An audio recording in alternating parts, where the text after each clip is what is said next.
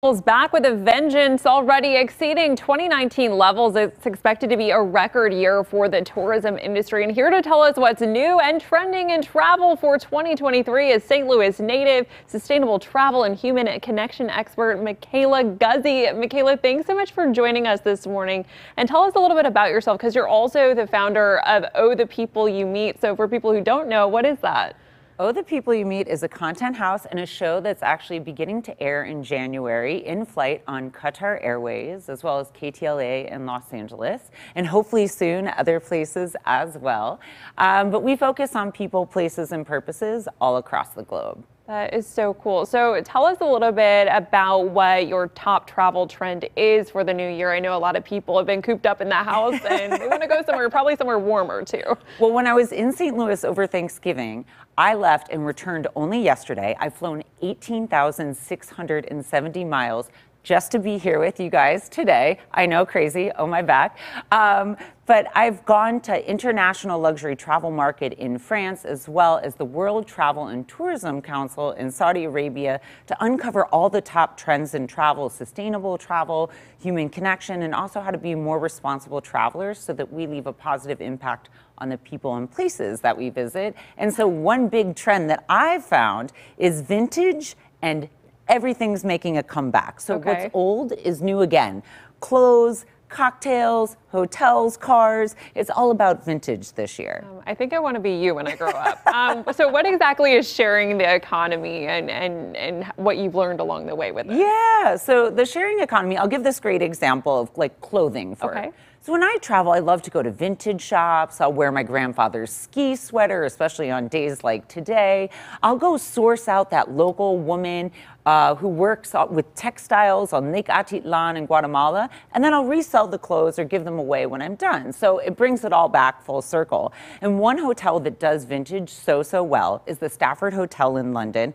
That picture that you saw before is the vermouth based Negroni Amphora. It's at their American bar and it is absolutely delicious. And the hotel itself started in the 17th century as a wine cellar, and there are secret passageways that actually connect to the palace.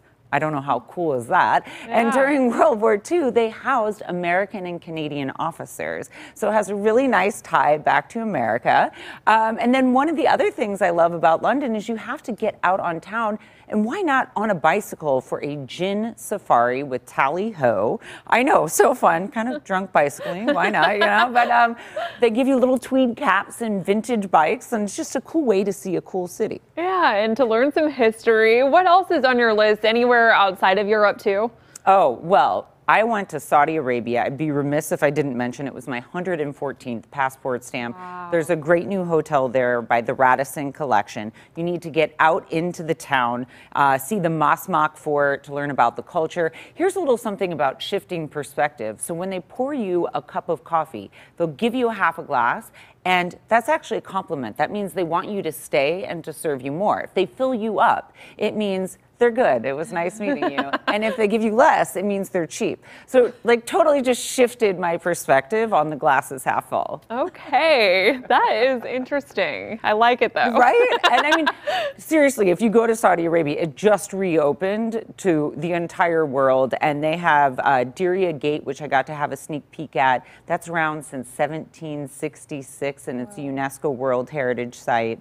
Um, and I went out to the edge of the world, which literally feels exactly like that. And I went with this local guide, Ghazi Tours, um, who really was an interesting person that I could have some really deep conversations with. So one more question before, mm. unfortunately, we have to cut this interview short. I could talk to you all day, but what's the most exciting travel news that you learned at some of these travel conferences you've gone to? Oh, I, so much, but I have to say that what is more nostalgic than train travel and Orient Express, which is owned by Accor Hospitality, are bringing back the most legendary train, which is the Orient Express, which went from Paris to Constantinople in 1883. They're bringing it back, and it's called La Dolce Vita, going across Italy, and in, in 2025, they're bringing back 17 of the original cars, 1920s and 1930s. I'll tease it out. There's something called the Great Transformation, and we'll okay. just say it involves lighting, costume, and decor changes. Ooh. See you on board? Yeah. I'd love to come with you sometime. Thank you so much, Michaela, for joining us this morning. If you missed anything in this segment or want to watch it again, we'll post this to our website, fox2now.com. We'll be right back with much more Fox 2 News in the morning. Stay with us.